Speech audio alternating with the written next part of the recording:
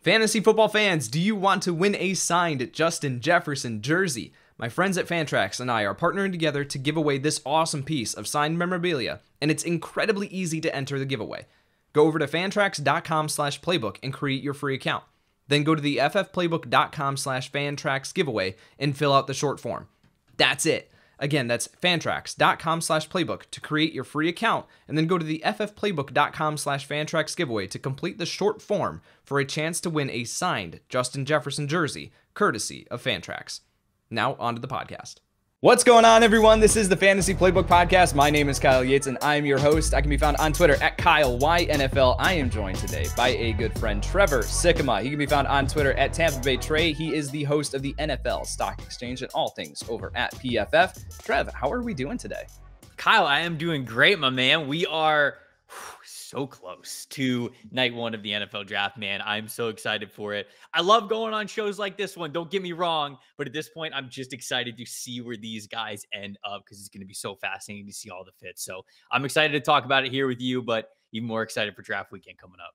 Man, I joined into the draft conversation in what January? Like, you know, that's when I got into draft season. You've been in draft season since uh, what it never really stopped. It never. Since you know, I was like, was born, there... Kyle. Since I was born. No, it I... it is it is funny you mention it. Like you, you know, you're doing your thing for fantasy football during the season.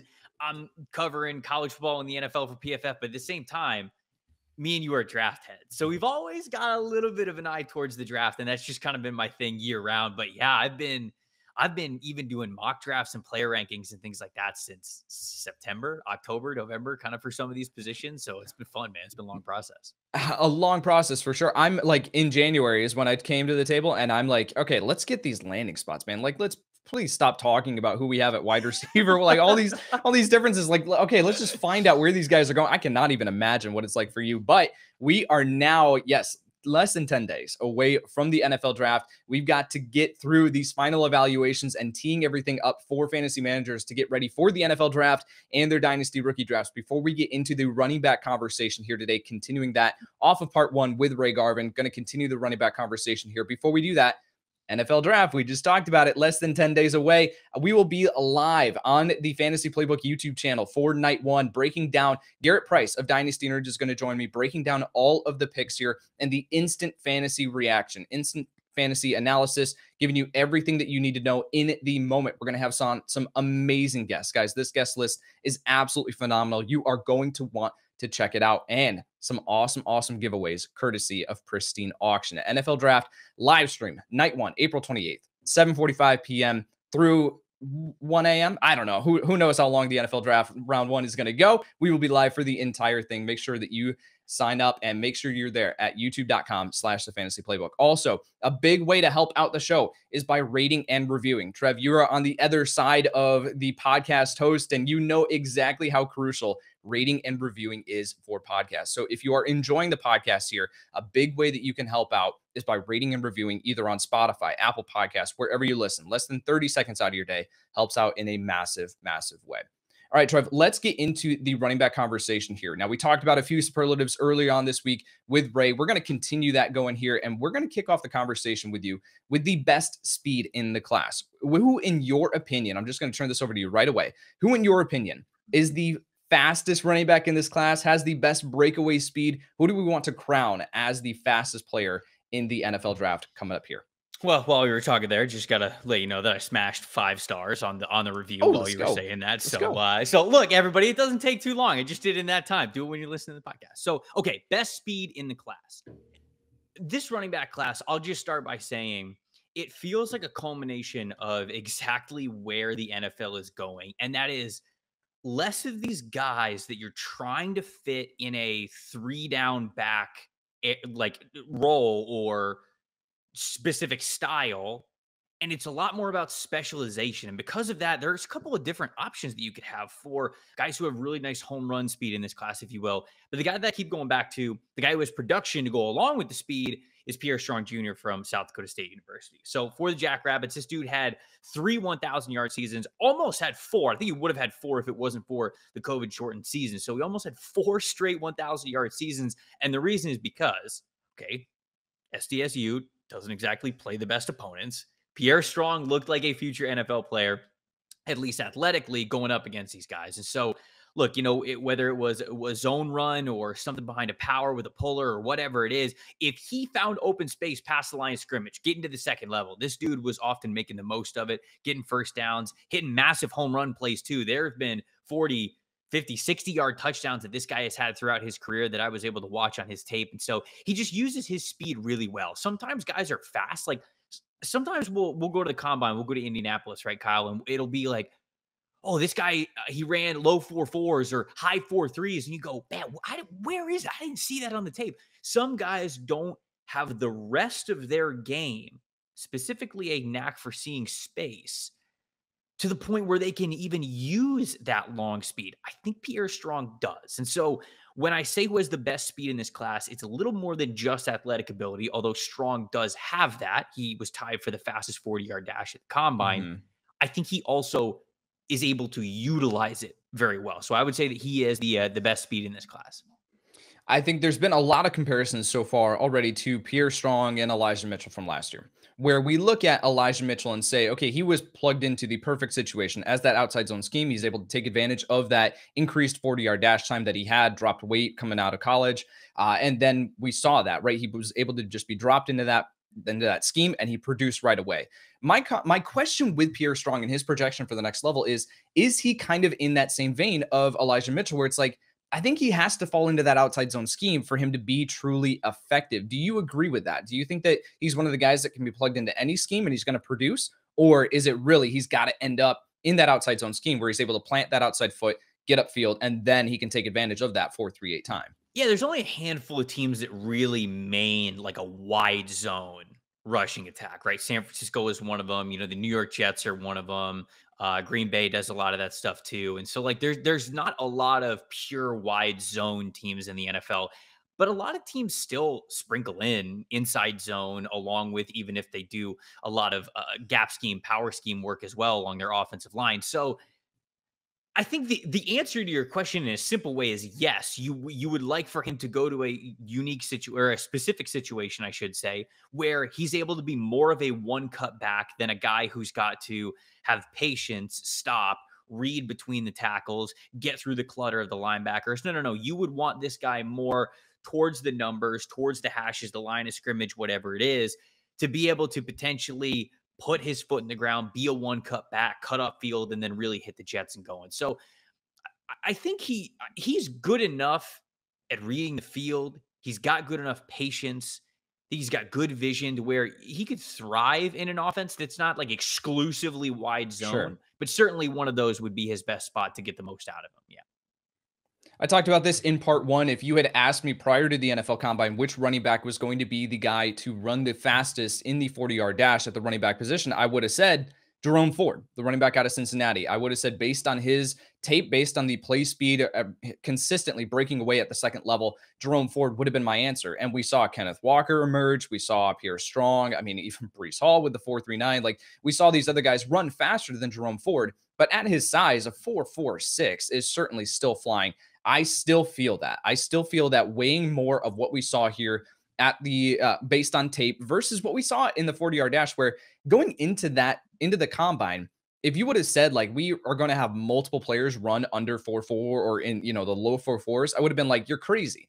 Like this running back class did not profile as a freaky athletic class for me based on their tape. Jerome Ford was the standout. Pierre Strong certainly falls into that category. Uh, but Jerome Ford is the guy that I'm going to say here for that best speed. I still feel very confident that he has the best play speed in this class. Someone that once you give him a little bit of space, he's going to break away and he's going to break away big at the next level. Jerome Ford. Any thoughts there on Jerome Ford before we move on to the next superlative? Well, I was just gonna say I uh I picked him. My my co-host over at NFL Stock Exchange, me and Connor had a had a, a, little draft, if you will, before the combine, drafting who we thought was going to be the best at each position. And for running backs, you know, we did 40 vertical, broad jump, uh, and three cone, I believe, were the three categories. And you had to draft one running back for each, and then you couldn't repeat. I picked Jerome Ford for the 40. I, th- I thought he yeah. was going to be a blazer. So I was right there with you. I was very shocked to see that he ran much slower than I thought he was going to, but I think the tape shows you plenty of explosiveness. He's clearly much more natural when he's got the helmet and pads on. So definitely not worried about his speed. He's got some really nice all around game as well. So I do like Jerome Ford. Fantasy football should be played the way that you want to. There are too many platforms out there that force you to play fantasy football the same way it was in 2010, but Fantrax allows you complete customization to set up your league the way that you want. Whether you want to have the ability to trade FAAB, or add bonus points for a player making a big play, or even as something as awesome and complex as the league being able to have players on multiple different teams, Fantrax is where you need to go. If you're looking for the most customizable and easy to use platform out there for any fantasy sport, sign up for free today at fantrax.com/playbook and be entered to win a signed Justin Jefferson jersey. Create your account and then head over to the ffplaybook.com/fantrax giveaway for all the details. Again, to win a signed Justin Jefferson jersey, head over to the ffplaybook.com/fantrax giveaway for all the details on how to enter. Fantrax, the home of fantasy sports. And it's crazy too. We're saying like he ran slower than we expected, and he still ran a four four six, like four yeah, four. Right, I think right, like right. I that's still flying, you know. Like, and I think that that does show up. There's a difference too between what we see with just the guys running in the uh, what the underwear Olympics in the 40 yard dash at the combine versus when the shoulders and you know the pads and the helmet are on as well. So let's keep going here. Let's go to best contact balance here. Who in this class really profiles for you as having the best contact balance. I think there's a lot of candidates that we could talk about here, but in your opinion, the the ability to break tackles consistently, elusiveness, however you want to categorize this, who is at the top of the class for you?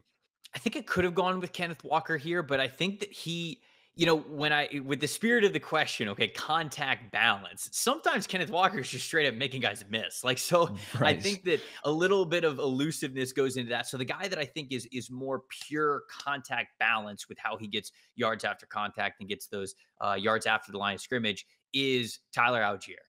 I am a hmm. big Tyler Allgeier fan, man. I really like him. I understand that he's got some flexibility concerns. He's not the most agile guy in the world. He's not going to be able to turn on a dime for you. But when this guy gets ahead of steam going, you can check out the highlight packages, some of his best runs that he's passed, had this past season. He is bouncing off guys. The legs are like tree trunks. He loves to lower the shoulder.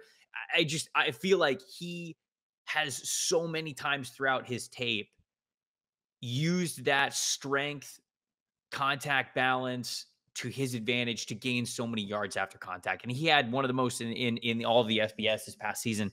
Um, I think he was top 10, I believe, off the top of my head, in yards after contact. And so the way that he did that was by taking hits, bouncing off it, staying on his feet, keeping going. And I think that that strength profile pairs with what he is athletically, which is a really good linear athlete. I think he's got pretty decent long speed too. Now, he's not a I wouldn't call him a burner by any ways, right? he is a strength profile guy who, if you get going in a straight line, if you get this guy, and again, a zone blocking scheme where he can read the line of scrimmage, put his foot in the ground, be a one cut back, start accelerating upfield.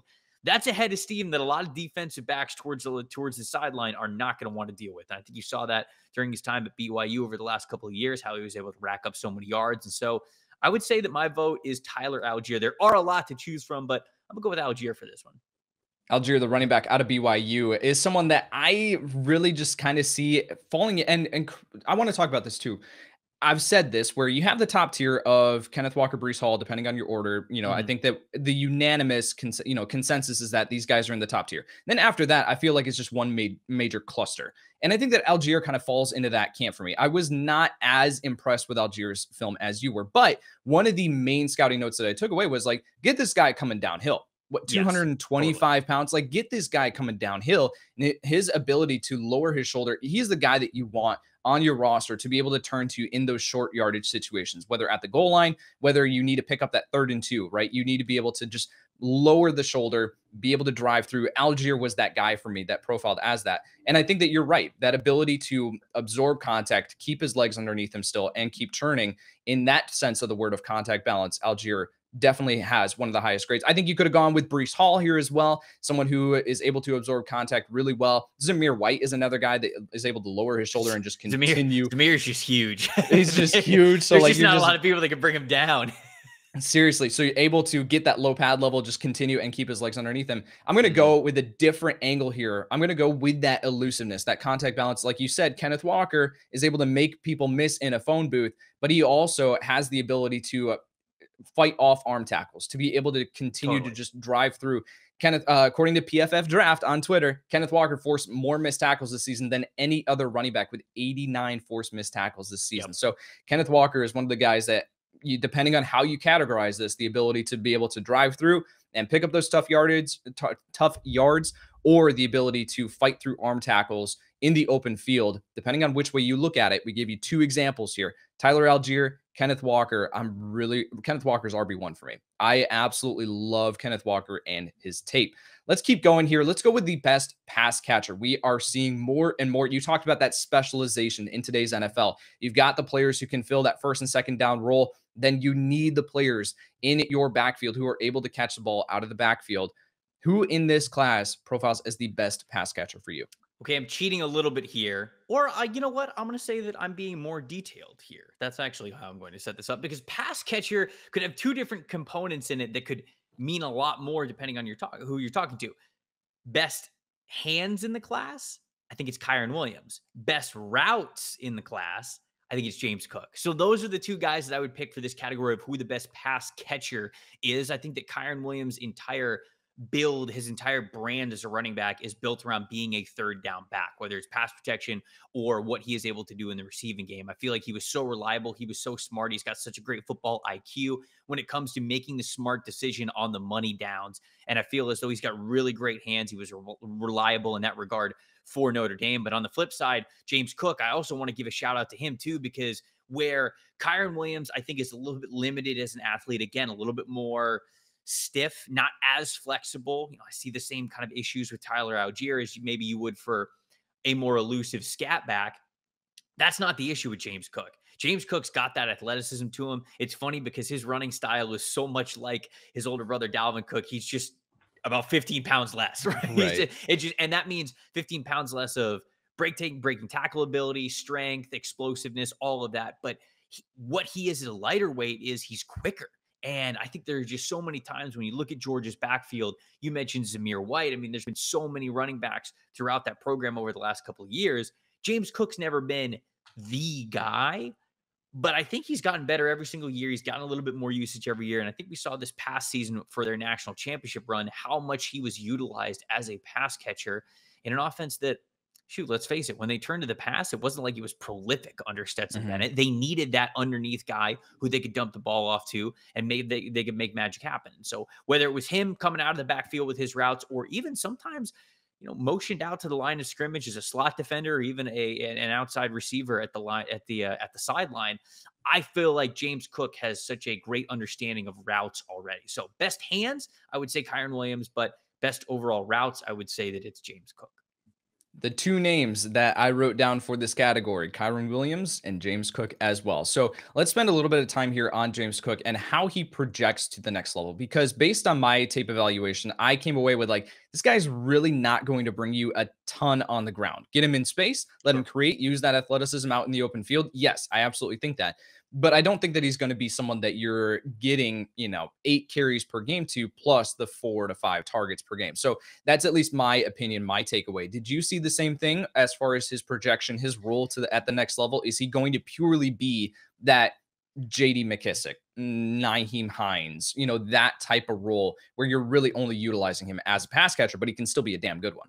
The the answer is probably yes, although I will say that Georgia's offense is power blocking up front. It is man gap, pullers, duo. Like it's between the tackles. It is a power run scheme at Georgia. Their offensive linemen are big, heavy, strong. Yeah. That's just the brand that they play with. That's not really James Cook's thing. Like if James Cook is going to be good as a ball carrier out of the backfield, it would be in kind of what we were talking about, more of a inside zone, wide zone rushing scheme where he, the, the offensive line's able to get moving. He's able to get moving. He's able to read the line, find the space, put his foot in the ground, and get upfield. So, I, where I do think that his best role and what he's going to give back to a team is going to be as a third down specialist, one of those JD McKissic, you mentioned it kind of roles, Nyheim Hines is just pass catching guys. But if he goes to a team that runs a decent amount of zone blocking with their offensive line, maybe could be a little bit more. Maybe he could have an RB2 ceiling instead of like this RB3 ceiling. Sure. So uh, I think that that's that's the way that I'm looking at things with James Cook. It's a really good point, Trev. Let's talk about Kyren Williams. And break my heart at the NFL Combine. I absolutely love. We've talked about this. I absolutely loved Kyren Williams going into the NFL Combine. I know that your co-host Connor Rogers, friend of the show, also absolutely loved Kyren Williams. Had him, I think, as a top two back. I think you loved Williams, but you had him a little bit lower as far mm-hmm. as your rankings going into the NFL Combine. And then he shows up to the combine under 200 pounds, runs a what uh, nearly as slow as Jordan Davis. Uh, you know, like there was so many concerns here with Kyren Williams at the NFL Combine. And now I just have absolutely no idea what to do with this guy going into the NFL draft. I still think that the tape is among the best in the class. The tape and what he brings you as far as a well rounded running back, I think it's towards the top of the class. But how does the NFL value his athleticism or lack thereof? So what are you doing with Kyren Williams right now? Because I think we're going to move on to the best pass protection here, superlative as well. And I think that Kyren Williams is going to be our answer for both of this, right? Because yeah. Williams' pass protection is elite coming out of college. So let's talk about Williams. Let's spend some time here. What do we do with him now heading into the NFL draft? I mean, he's going to be a day three pick. I mean, there's there's no there's no doubt about it. You, you can't you can't sit here and and justify him going as a as a certainly not a first rounder, but even a, a, mm-hmm. second and third rounder, given how he tested. I mean, when you look at just eh, size as well, height and weight, 20th and seventh percentile, wingspan second percentile, arm length first percentile, uh, 40 yard dash 23rd percentile, vertical jump 21st, broad jump 33rd. So like this dude is eh, just not he's he's not an athlete and he's not big. So when you are smaller, you have to test better. And he absolutely did not do that. Now, when it comes to football IQ and instincts and kind of some of the things that I mentioned before, Kyren's probably one of the best in this class. I mean, when when you and I were doing the podcast uh, over this past summer, we love Kyren Williams. We Kyren Williams yep. like RB one basically in this class, and it just you get to the point where you go, okay, this is too much to overcome now. And I think that that really limits what he can be in the NFL.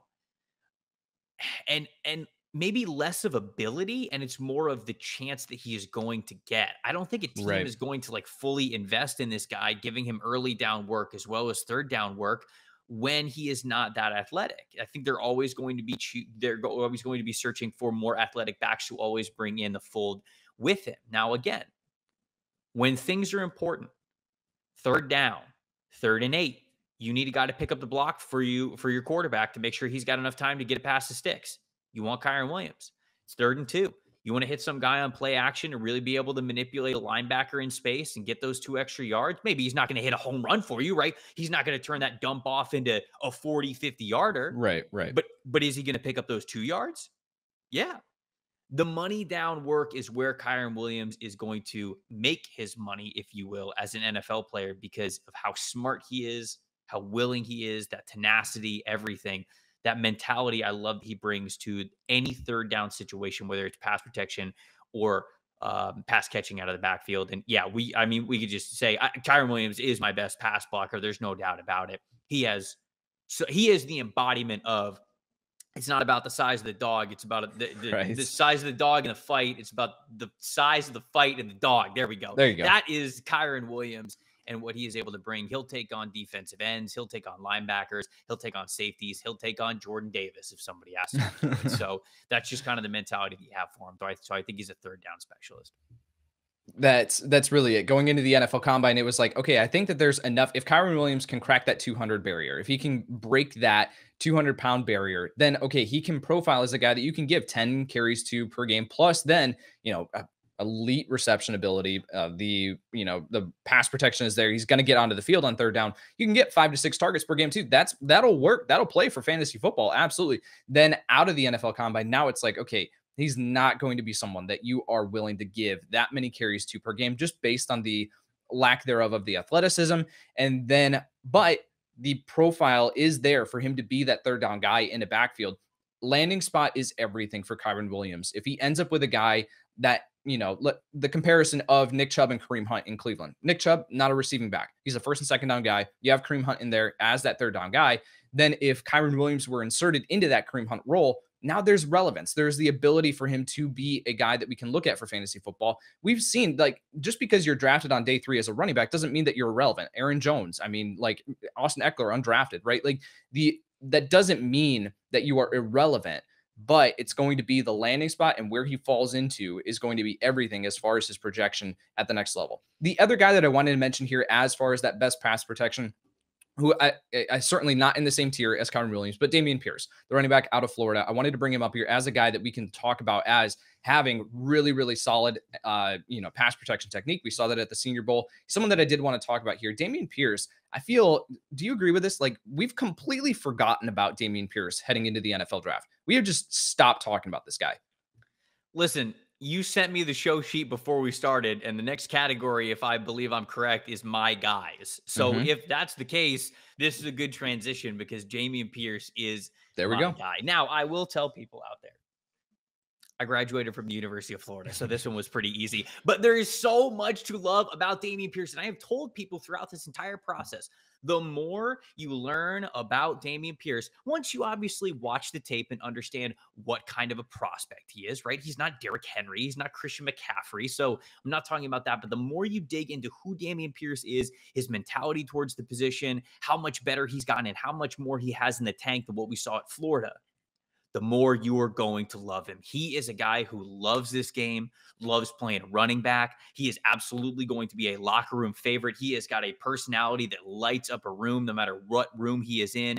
Every time he talks to the podium, people listen, whether it's because it's wisdom and leadership or, or he's charismatic. He is just, he is somebody who I'm telling you is going to be in the NFL for as long as he wants to because I think that he has a baseline talent to be a pro at the, at the next level, but also because of what an incredible locker room presence that I think he is going to be. He is a great pass protector. In fact, on day two of the Senior Bowl, they ended practice.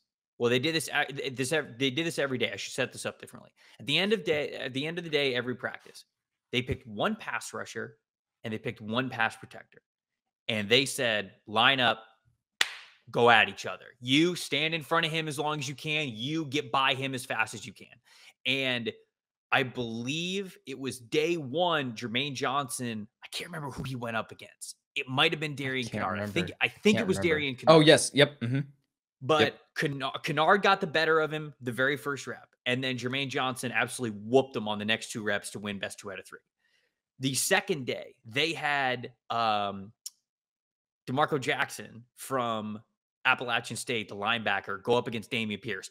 Dameon, this is one on one here, one on one in full space. Like there's no help, no nothing, no angle, whatever. And Jackson just sprinted straight at Dameon Pierce and he stoned this dude. You heard the crack of those pads miles away. Dameon Pierce got the hands exactly where he needed to, right up underneath the armpits, stayed with him. Jackson tried to rip him to the left. Pierce stayed in front of him. And then afterwards, Pierce, you know, throws off his helmet and everybody's going crazy around him and they kind of like dogpile him and everything. So, yes, he's a great pass protector. Uh, it was absolutely criminal how little Dan Mullen used Seriously. him this past season. I think that he's got decent enough speed to be a successful player that you could put on the field and that can make a, a 53 man roster week in and week out because of what he does for you on third down and short yardage situations as a power back that'll give you that kind of determination and never quit for short yardage, third downs, goal line, whatever it is. Love Dameon Pierce. Jerome Ford was my guy. If you want a breakdown of why exactly, then you can go back to the previous episode here in this series with Ray Garvin. Talked about Jerome Ford there as my guy. Let's move on here to the favorite sleeper, who later on in this class, Trev, that we are not talking enough about. You mentioned Pierre Strong. I think that he's someone who could certainly qualify here, but maybe someone even further down the board than that. Who are you thinking here as far as your favorite sleeper that really no one's talking about and they should? I like Keaontay Ingram, the running back from USC, man. I think he's got a lot of really nice all around game. He's not the fastest guy. He's not the biggest guy. He's not the strongest guy. He's not the most agile, but he does all those things, those things really well. If you go back to his high school tape, man, he was a, a four star recruit from the state of Texas. He had back to back 2,000 yard seasons as a high schooler. He had more than 30 touchdowns in each of them. So production was certainly his middle name as a recruit. He ended up going to Texas, committing to Texas, and he just he's never looked comfortable there. I, I know that yep. he was fluctuating weight a little bit. He was up, he was down. And it's just like he didn't, he just never looked comfortable. And I felt like at USC, he looked a lot more comfortable, but it was kind of a rotation there with him uh, in, in his short time that he was with the Trojans. And so he didn't necessarily have a ton of production when he was with the Trojans either. But I think the best days for him could be ahead in the NFL. I just feel like he does a lot of things really well. He's not elite at one thing, but I think he's got great all around game. And I feel as though now that he's kind of at that home comfortable weight and confidence in his own game, I'm very curious to see where he ends up. If it's a running back room that he's got a chance to compete in right away and what he can do with that kind of a role. I know that Brett Coleman, a good friend of ours, absolutely loves Keaontay Ingram. So that, uh, and Brett knows the stuff. So Keaontay Ingram there as someone that we need to be talking about a little bit more. We're getting tight on time here, Trev. Let's run through your top five rankings before we end the show. All right. Uh, I have Kyren Williams at number five just because he is the drug that I cannot quit. I think that his value on third down is just too good. He's just got too high of a football IQ for me to have him any lower than five. So I got him at five. I got Isaiah Spiller from Texas A&M at four. I think that Spiller's got good athleticism, but I think the eye for space and the patience are things, the two things that I just let left me wanting to see more from him. If he was hmm. a little bit more patient, I feel like if he could – see green grass before it opened up, if you will, a little bit better, he'd get a lot more out of that athleticism. So I, I think that there might be a spot for him in the NFL, but I'm just a little bit hesitant on him. So I got him as RB4. Number three, I got Tyler Allgeier. Again, love the mentality, love what he is as a bulldozer. You get him going downhill, and I think he could be uh, an absolute rock for you. Former uh, linebacker as well. So he's got that mentality of what it's like yep. to be tackled as a running back, as well as uh, go and break some tackles to it. So I love that perspective that he has. I get Kenneth Walker at RB2 and I got Breece Hall at RB1. But honestly, man, you told me you got Kenneth Walker at RB1. I got no complaints there. These are two fantastic right. players.